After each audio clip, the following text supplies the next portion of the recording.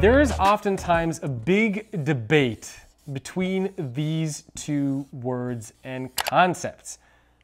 Manager, right? We always talk about managers versus leaders. Is it better to be a manager? Is it better to be a leader?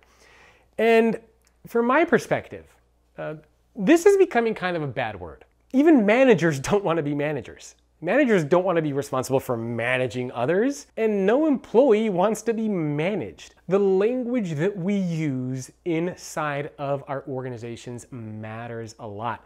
I actually remember when I was talking with Bob Chapman, the CEO of Barry-Wehmiller, and I actually used the word manager in there a couple times. And he legitimately got mad at me and he's like, Jacob, I don't want you to say the word manager anymore. We don't use the word manager inside of Barry-Wehmiller. And because he, like many other CEOs, understands that the way that we talk about these things matter. So I want to encourage you to think about how you can move away from manager to a leader. And as you'll see in the remainder of this course, it's not just a name change. It's not just a name change, it's a skill set change, it's a behavior change, it's a mindset change, but the language that we use to talk about these things matter. In fact, I don't even think we should be using the word manager ever.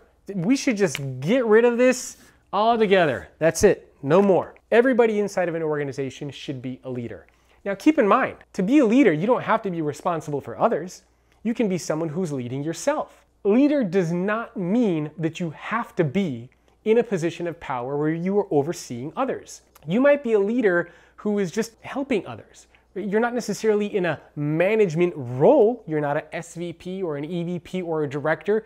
You're just an individual contributor but you're a leader because you're helping guide others, you're coaching others, you're becoming that lighthouse that I talked about earlier, and you're also leading yourself. So let's not assume that just because you're a leader, it has to mean you have to have a leadership or a management title or a role.